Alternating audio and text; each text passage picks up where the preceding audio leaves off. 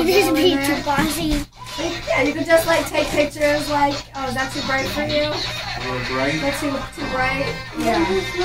You should probably turn it down. It says the pictures in high V is too It's frankly. the.